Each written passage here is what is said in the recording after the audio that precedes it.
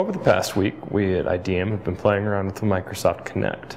We use the Open Kinect drivers to create a virtual webcam device that takes the depth information from the Kinect and can output it to a blob tracker like CCV. So this is pretty simple. As I move my hand into the image, it's going to become a point in CCV. Now I'm going to launch our Gigapixel viewer to show you what this means. Here we have an image of El Capitan, and it's uh, provided by xRez Studio.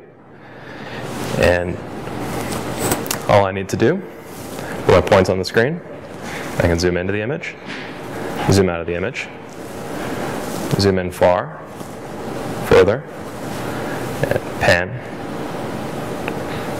and I can even climb. So all of this, the Gigapixel viewer and the webcam driver that you'll need to get this up and running are available on openexhibits.org. Uh, if you don't qualify for Open Exhibits, or if you're a commercial member, you can purchase GestureWorks. You can then get access to all of these modules.